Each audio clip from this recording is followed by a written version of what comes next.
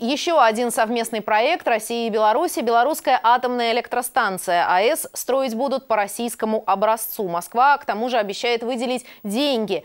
Первый энергоблок планируют запустить уже через 6 лет. Наш корреспондент Наталья Козея отправилась в небольшой островец и увидела, как провинциальный город готовится к славе белорусской столицы атомной энергетики.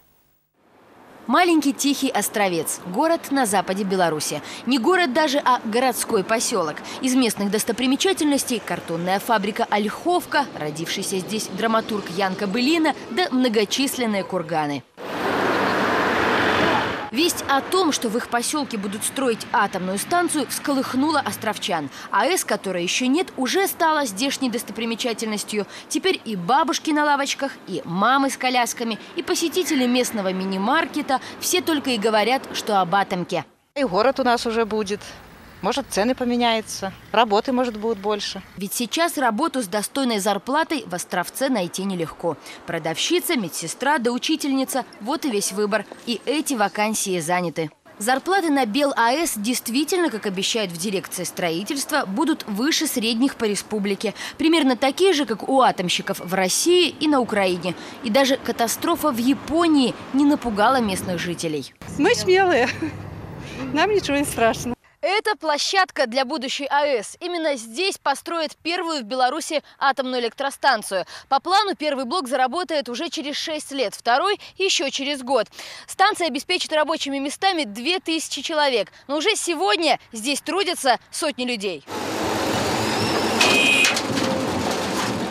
Пока на площадке идут подготовительные работы. Водитель самосвала Альберт Акушка гордится тем, что работает на таком важном объекте. Они с товарищами прокладывают сюда железную дорогу. Уже два года. Альберт признается, можно было бы и побыстрее. Начинать всегда приятно.